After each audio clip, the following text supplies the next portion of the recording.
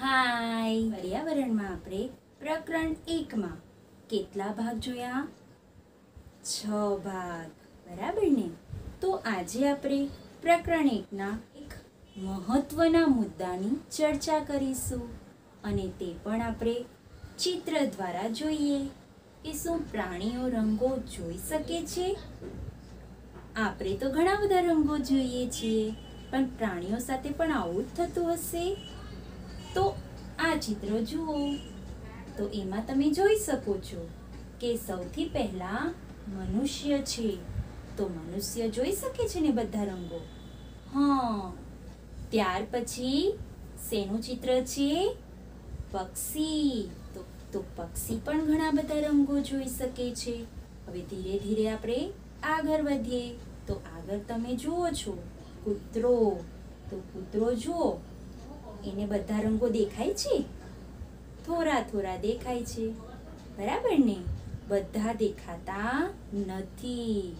અને એનાથી આગળ વધીએ તો બિલાડીનું ચિત્ર છે. હવે બિલાડીને અંધારામાં જુઓ, કેટલી ચપર હોય છે. તો અંધારામાં આપણે જોઈએ તો આપણને કયા બે કલર દેખાય? સફેદ અને કાળો. તો એ જ રીતે જે પ્રાણી, જે પક્ષી અંધારામાં જાગે છે, એવા પ્રાણી અને પક્ષીને પણ સફેદ અને કાળા રંગના દ્રશ્યો દેખાય છે. તો હવે પછી આપણે કાન વિશે માહિતી મેળવીએ. તો કાન વિશે પણ આપણે ઘણી બધી માહિતી મેળવી, બરાબર ને? આપણે જોયું ને કે કોના કાન આપણા કાન કરતાં મોટા હોય છે? એવા કયા પ્રાણીઓ છે કે જેને કાન હોતા નથી? યાદ આવ્યું ને બધાને? હા, બીજું પણ આપણે એક વસ્તુ જોયું હતું કે પ્રાણીઓની સાંભળવાની ક્ષમતા શું તેના કાન નક્કી કરે છે? એટલે કે જો કાન નાના હોય તો ઓછું સંભળાય અને મોટા હોય તો વધારે સંભળાય. બરાબર?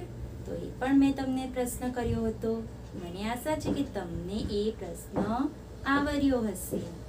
આપણે ઘણી બધી પ્રવૃત્તિઓ કરી પહેલી પ્રવૃત્તિ કઈ હતી? હા, કે આપણે કાનને આ રીતે રાખીને સાંભળવાનું હતું. યાદ આવી ગયું ને?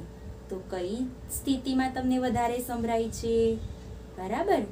બીજી કઈ પ્રવૃત્તિ? તમારા બંને હાથને કાન પર આ રીતે રાખીને સાંભળો. એમાં પણ તમને ખબર પડી ગઈ હતી ને, કે કઈ રીતે આપણને વધારે સંભળાય? અને હા આ રીતે આપણા હાથ કાનની પાસે રાખીએ, ત્યારે આપણે આપણો પોતાનો અવાજ સાંભળી શકીએ છીએ. અને બીજું, આપણા કાનને ટેબલ પર આ રીતે રાખીએ અને અવાજ કરીએ, ત્યારે આપણને તેની ધ્રુજારીનો પણ અવાજ આવે છે. બરાબર? તો આ રીતે આપણે ઘણી બધી પ્રવૃત્તિઓ કરી. યાદ આવી ગયું ને? ત્યાર પછી અહીં તમને બીજું ચિત્ર દેખાય છે. તો આ કયું પ્રાણી છે? અરે વાહ, તમને તો બધું યાદ આવી ગયું. આ છે લંગૂર. તો લંગૂરનો ચેતવણી સંકેત પણ આપણે જોયો. કેવું? અવાજ કરે છે અને તે અવાજ શું કરવા કરે છે? હા, બીજા પ્રાણીઓને સાવધાન કરવા માટે ચેતવણી સંકેત આપે છે. તો આપણે એવા ઘણા બધા પ્રાણીઓનો પરિચય મેળવ્યો કે જેઓ ચેતવણી સંકેત આપે છે. જેમ કે પક્ષીઓ. તો પક્ષીઓ પણ પોતાના અલગ અલગ અવાજ દ્વારા ચેતવણી સંકેત આપે છે. માછલીઓ વિદ્યુત સંકેત દ્વારા ચેતવણી આપે છે. ત્યારબાદ ડોલ્ફિન માછલી વિશે પણ વાત કરી હતી કે ડોલ્ફિન માછલી પણ વિદ્યુત સંકેત દ્વારા ચેતવણી સંકેત આપે છે. એટલે કે વૈજ્ઞાનિકોના મત અનુસાર આપણે જોયું કે દરેક પ્રાણી, દરેક પક્ષીને અને દરેક જળચર પ્રાણીને પોતાની અલગ ભાષા હોય છે. અને ઘણા એવા પ્રાણીઓ હોય છે કે જેઓ આગળથી જાણી લે છે કે કોઈ દુર્ઘટના થવાની છે અને તેનાથી આપણને ચેતવણી આપે છે કે તેઓના અલગ પ્રકારના વર્તનને કારણે આપણે સમજી શકીએ છીએ કે કોઈ ઘટના બનવાની છે અથવા કોઈ મુશ્કેલીમાં મુકાયું છે. ત્યારબાદ આપણે એ પણ જોયું હતું, તમને મેં સોંપ્યું હતું કામ કે તમારે પણ પોતાની અલગ ભાષા બનાવવાની છે. જેમ કે કાગડાની ભાષા, ચકલીની ભાષા, બરાબર ને? એવી રીતે તમે તમારી ભાષા બનાવી દીધી ને. એકવાર કરો તો અરે વાહ, સરસ. ત્યાર પછી આપણે શું જોયું? સ્લોથ વિશે. જોયું ને સ્લોથ? કેટલું સરસ પ્રાણી છે. હા, આપણે સ્લોથ વિશે પણ ઘણી બધી માહિતી મેળવી કે સ્લોથ ચોવીસ કલાકમાંથી અઢાર કલાક ઊંઘે છે. અને કઈ રીતે ઊંઘે છે? ઝાડ પર ઊંધા લટકીને. અને હા, તે ફક્ત પર્ણો ખાય છે. અને કયા પર્ણો જ્યાં તે રહે છે તે જ ઝાડના પર્ણો ખાય છે. યાદ આવી ગયું ને? આ સ્લોથ અઠવાડિયામાં એક વખત નીચે ઉતરે છે અને શું કરવા? હા, પોતાની જાતને હરવું કરવા માટે. તમે અહીં ચિત્રો જુઓ છો ને? આ કાર્યો મેં તમને સોંપ્યા છે. બધાએ કરી લીધા ને? હા, ચોવીસ કલાકની ઘડિયાળ પ્રમાણે તમારે આ બધા પ્રાણીઓનો ઊંઘવાનો સમય નોંધવાનો હતો.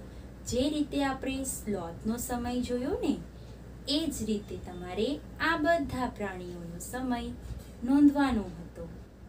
ત્યાર પછી આપણે વાઘ વિશે માહિતી મેળવી હતી કે વાઘ અંધારામાં ખૂબ જ તેજ જોઈ શકે છે.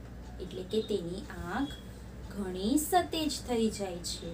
બરાબર ને? વાઘની જે મૂછ હોય છે, એ કેવી હોય છે? સંવેદનશીલ અને તે હવામાં હલનચલન કરી શકે છે, એટલે કે ઉડે છે. અને વાઘની મૂછો વાઘને આગળ વધવા માટે મદદ પણ કરે છે અને ખોરાક શોધવા માટે પણ મદદ કરે છે.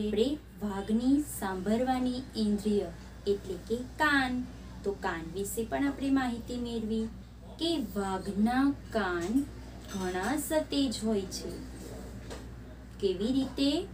તો વાઘ સાંભળી શકે છે કે કયો અવાજ પાનના ખખડવાનો છે અને કયો અવાજ પ્રાણીઓના ચાલવાનો છે. તો આ રીતે બંને અલગ અવાજ સાંભળી શકે છે.